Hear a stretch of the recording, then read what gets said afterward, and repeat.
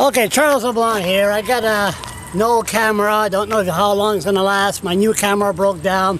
You want to give a helping hand? Email me oldmaison at yahoo.com.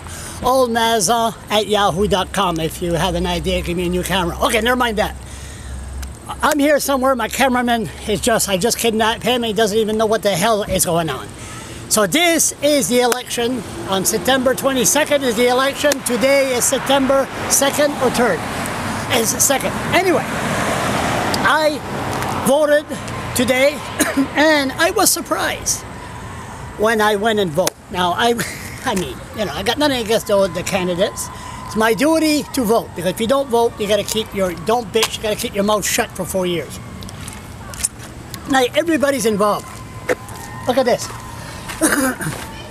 David Coon, you know, there's nothing wrong with that. David Coon, the House is there, there's some liberals. And next thing you know, come on here. See, there's signs all over the place.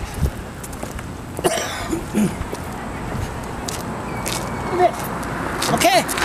Now, there's some business supporting the conservative, Craig Leonard. No problem. But, you know, okay, follow, follow me.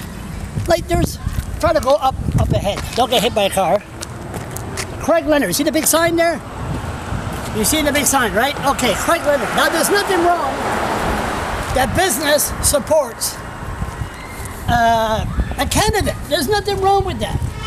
If you look across the street, look, look over there. There's a big sign, vote for Roy Wiggins.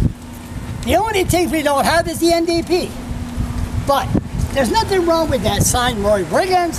There's nothing wrong with that sign, David Coon. But I got a problem with the Craig Leonard one.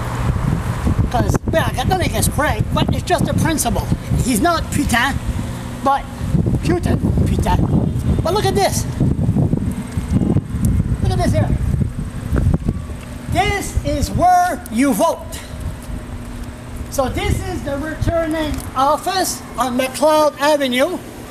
You walk in there and you go and vote.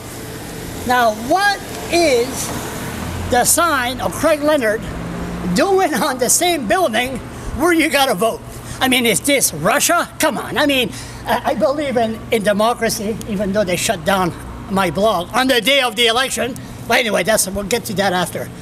But the bottom line is, are signs allowed on the building where you're going to vote? Russian style of politics?